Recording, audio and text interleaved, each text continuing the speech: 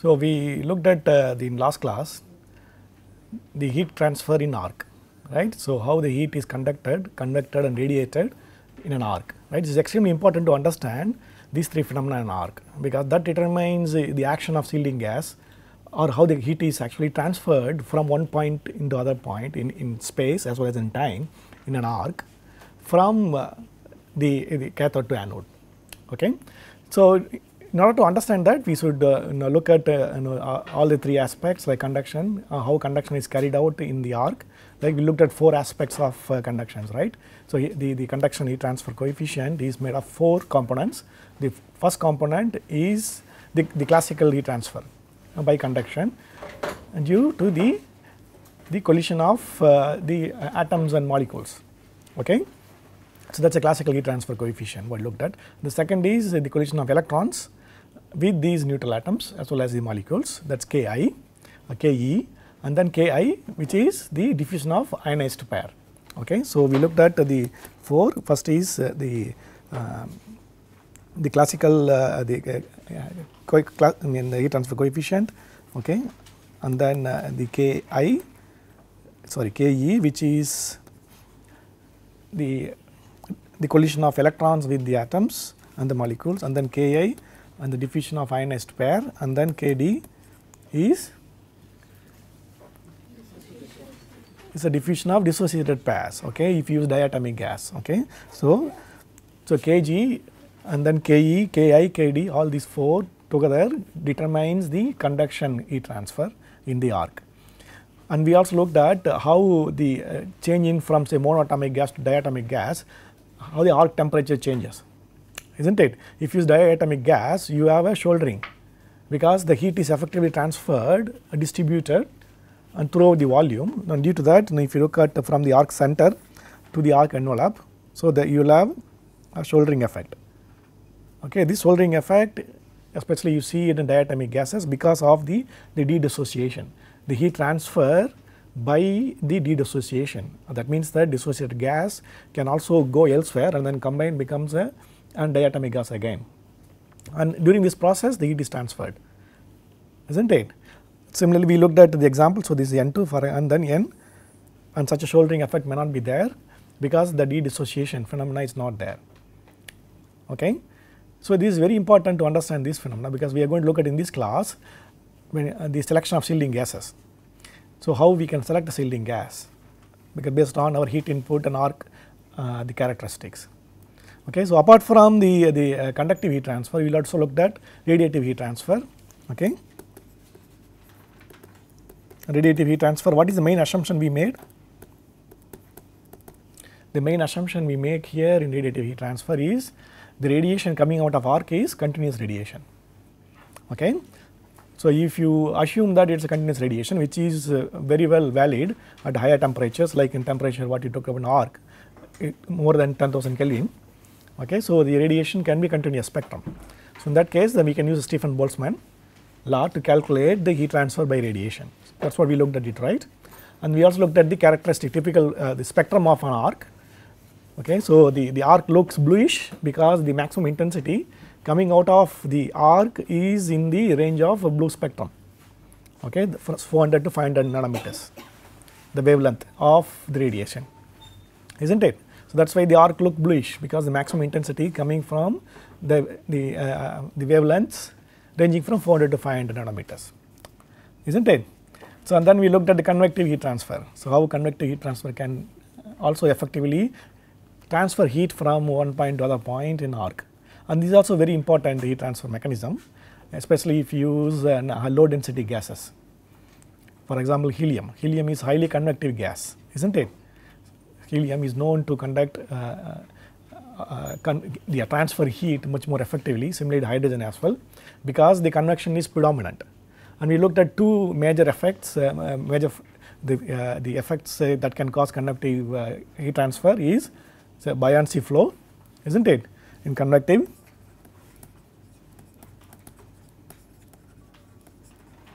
How does buoyancy flow happens?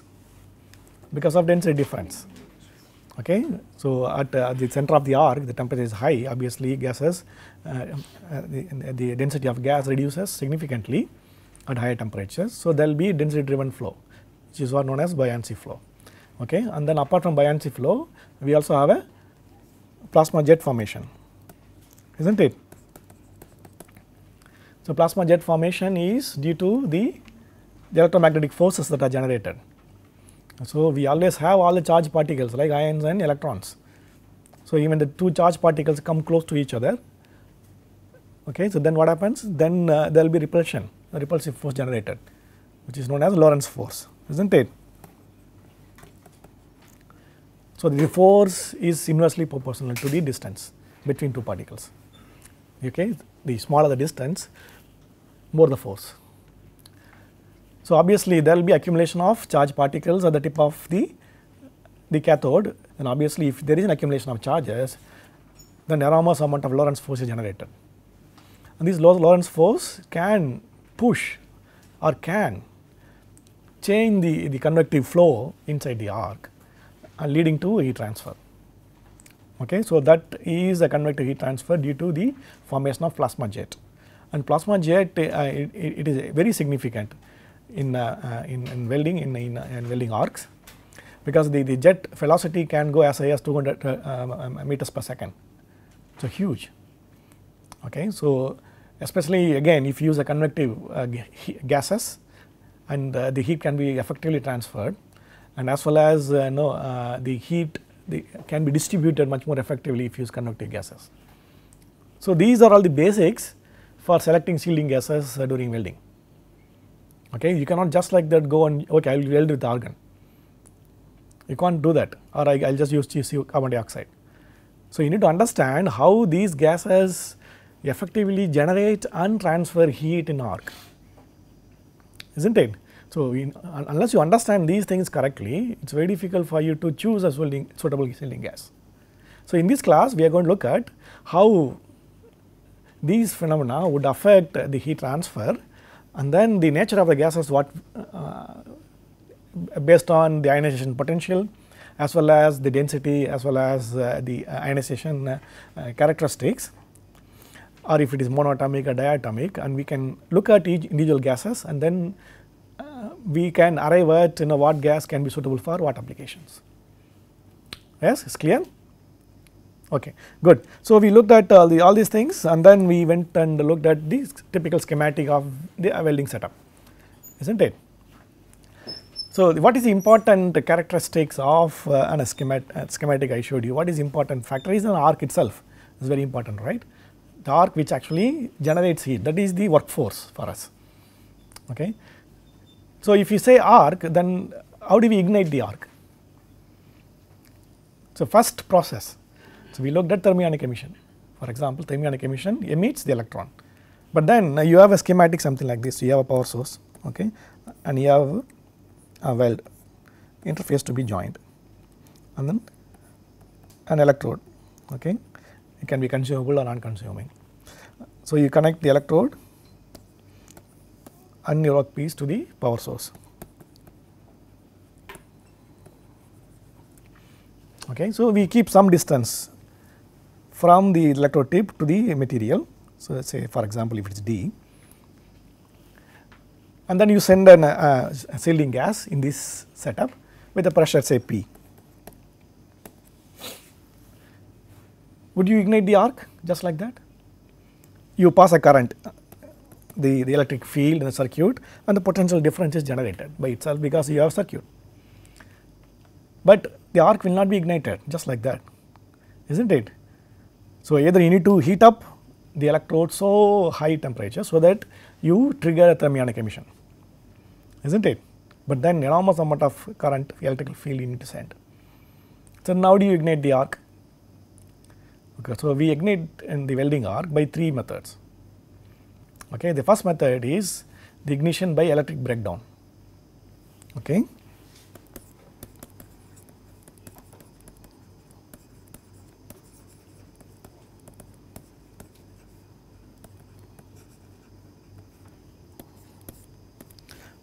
The second is uh, it is like thermionic emission by heating, by direct heating.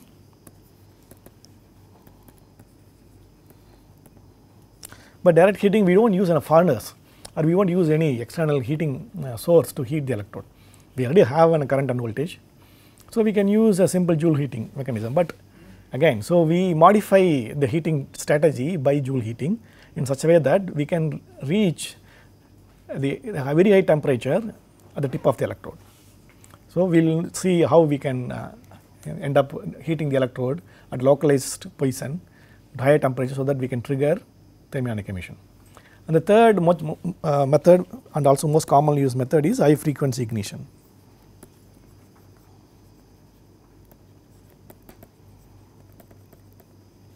Okay.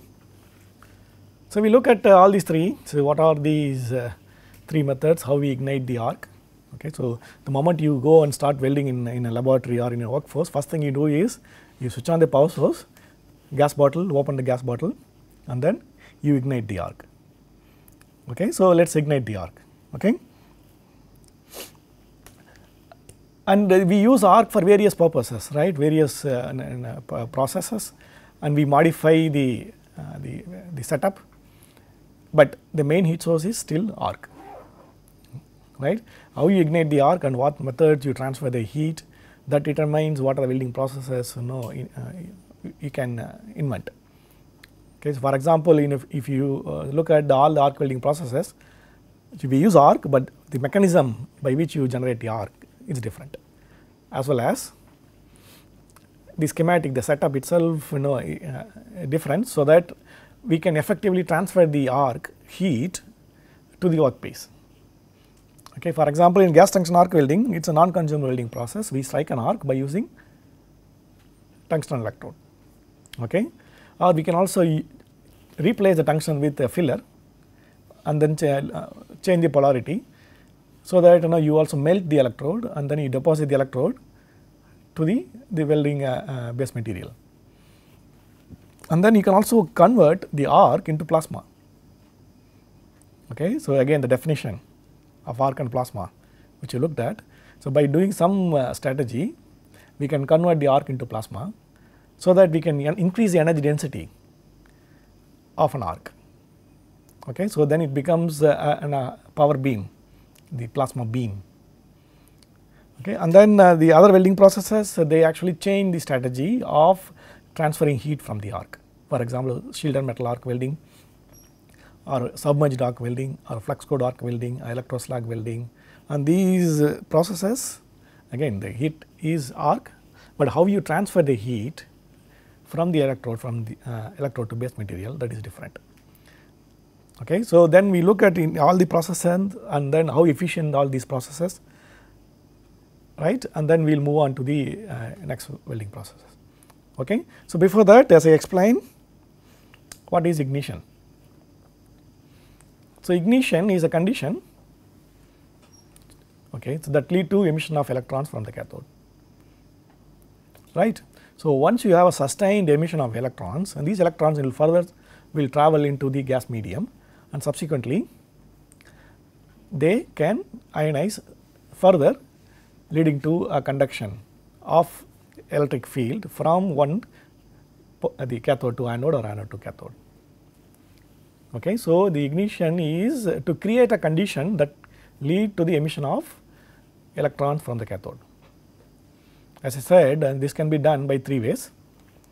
So, in all cases ignition means we need to trigger the electron emission from the cathode. So, we can either do by electric breakdown or direct heating of the cathode thermionic emission is not it or we can also do by high frequency ignition and all these three methods are commonly used.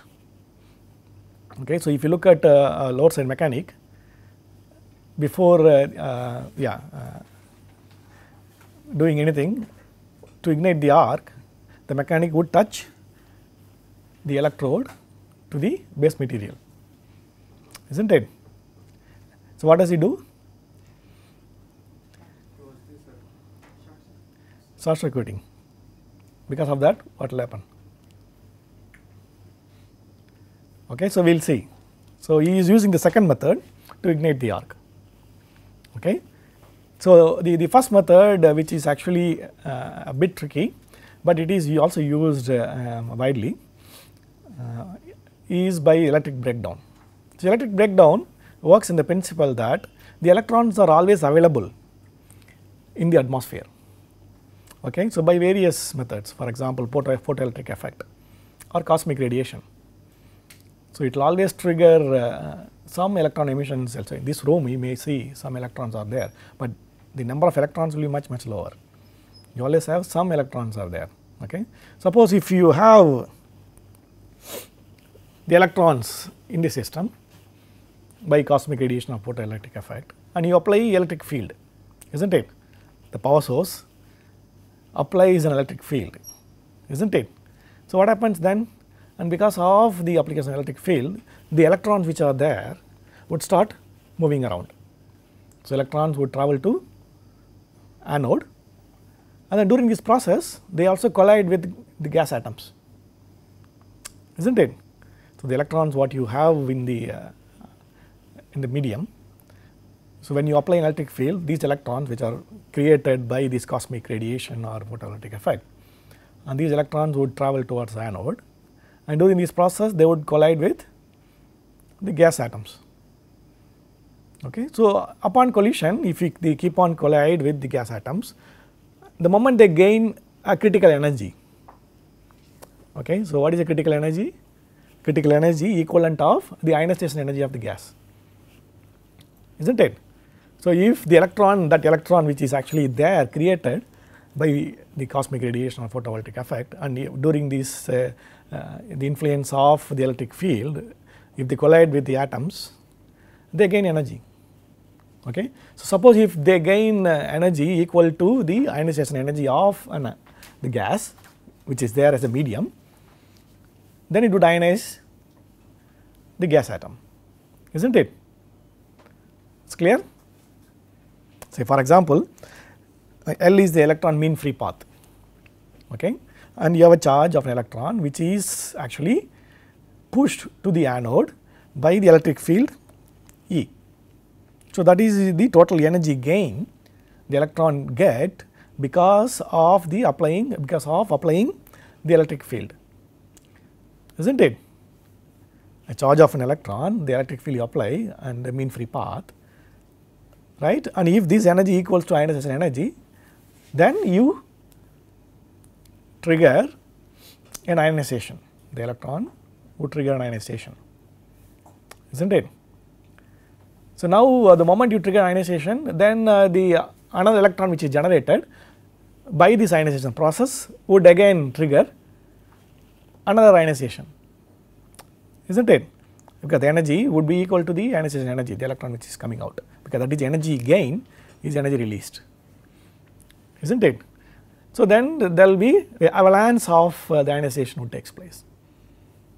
So, the moment one electron triggers the ionization the other electron which will have equal energy of ionization energy okay. So, because what is consumed it is actually coming out and then that electron would create subsequent ionization and then uh, the all the electrons which are generated would create an avalanche.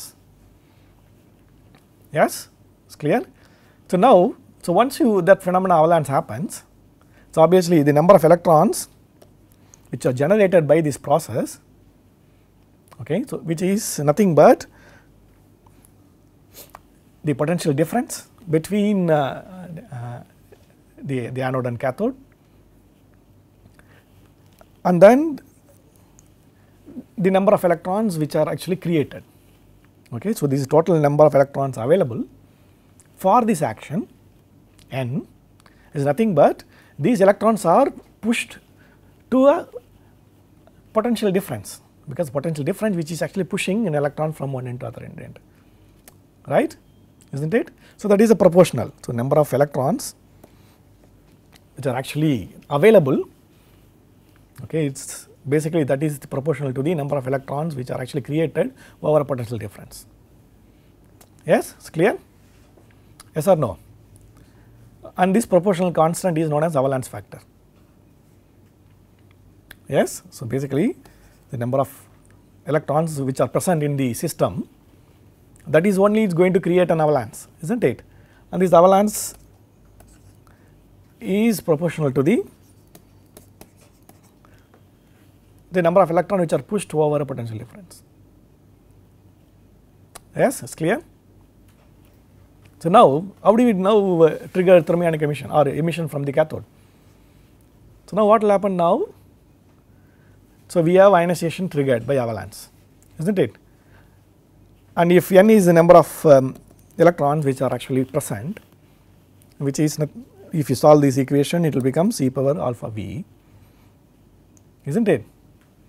So what, what will be in the volume fraction of ions present? It is nothing but 1 minus n, isn't it?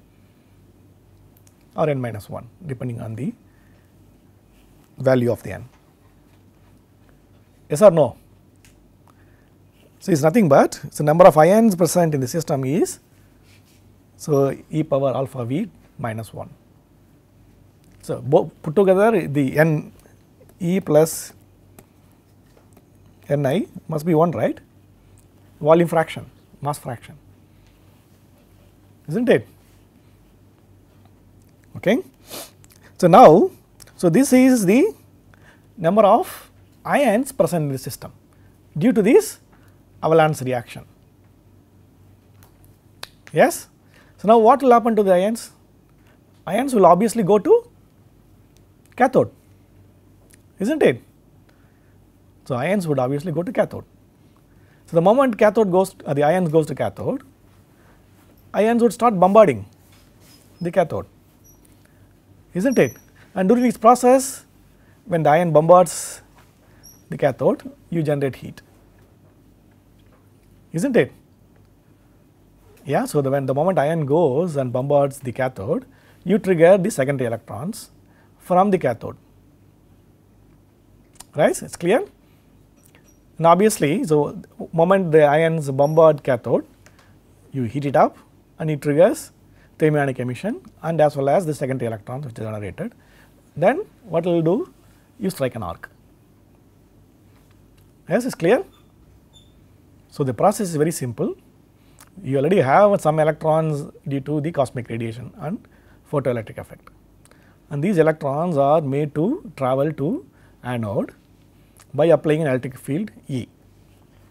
Okay, you apply an electric field E.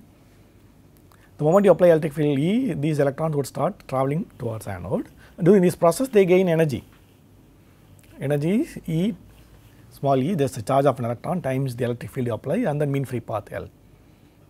If that equals to the ionization energy, when the, that electron which gains the energy equal to ionization energy, it collides with a gas atom, it would cause an ionization,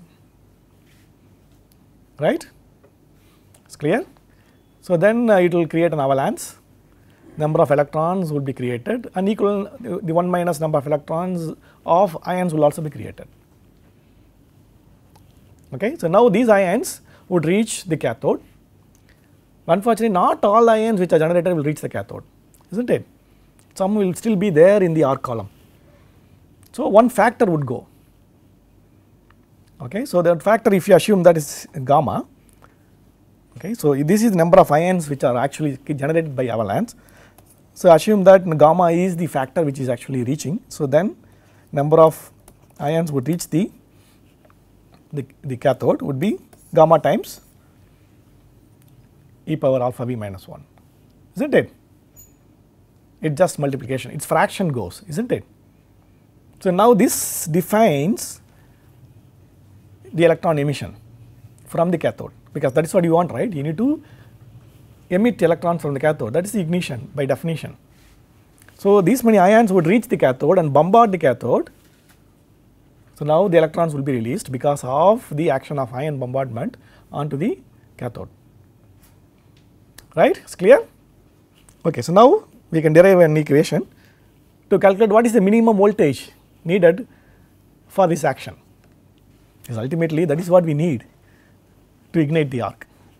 If you say that this is the fraction of ions reach the cathode, the moment ion bombards the cathode, what will happen then I will explained you heat up the cathode, not only heating up the cathode, you will also release secondary electrons. Heating would release the thermionic emission. So, once the electrons are released at cathode, then your definition arc ignition can take place. If you solve this equation, so obviously you define a critical voltage for the emission of electrons from the cathode by the electric breakdown.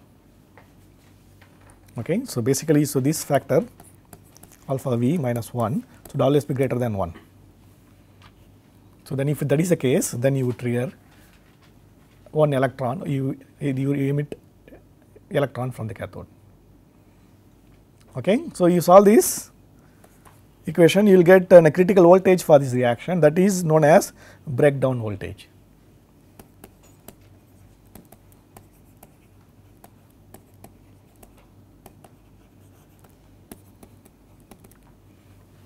So, this is the minimum voltage you need to apply to ignite the arc. Okay. So, suppose if you uh, want to ignite an arc not by direct touching because touching is not, it's not always not always useful. It shouldn't be doing it for all the welding processes. So, if you want to ignite the arc without a physical contact between the cathode and anode, so you need to apply some breakdown voltage to trigger the ignition okay, that is VB breakdown voltage. Okay. So, now we have a problem because I already taught you in the beginning our welding processes are always done in extremely low voltages is not it. The voltage is not more than 30 volts that is why it is making it safe is not it. So, we can touch the welding table even welding is going on because uh, the welding base plate is also part of a circuit. Suppose if you want to apply very high voltages to ignite the arc then you have a problem is not it. Okay. So, now there are some power sources still ignite the arc using the breakdown voltage VB and VB has to be extremely high. Okay. So, the VB generally it is very high for example, the PD if it is 1 atmosphere pressure then it becomes D is not it. So, 1 atmosphere pressure. So, this the factor VB is actually a function of the distance which is the distance between the electrode tip to the base material okay and then the pressure suppose if you increase the the d distance the VB can also either increase or decrease.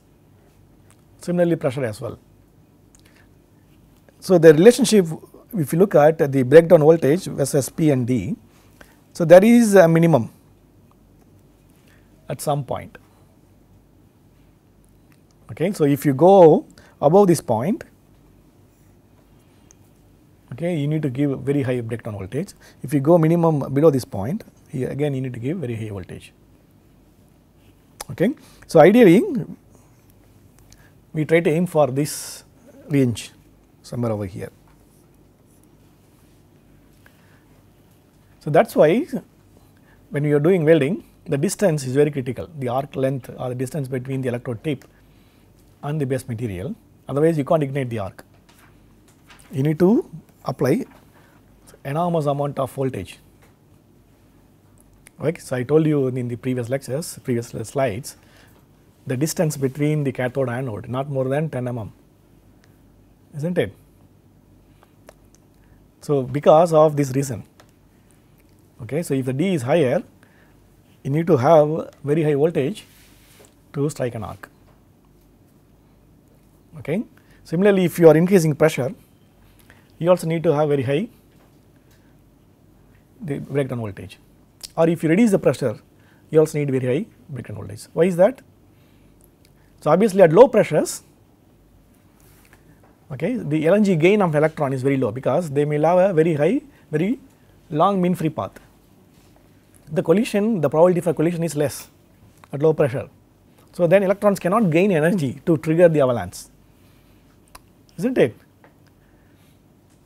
Also in very high pressures the electron loses energy because of frequent collision.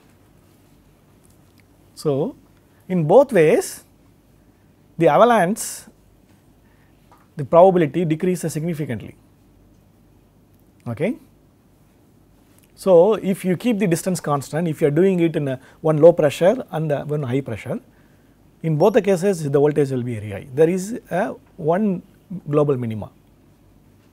Okay. If you keep the pressure constant, again there is only very narrow range at which you can strike an arc.